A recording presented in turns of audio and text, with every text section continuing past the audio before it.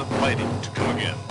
As the year flew by from the excitement, now declared the opening of our special team tournament begins. In 1996.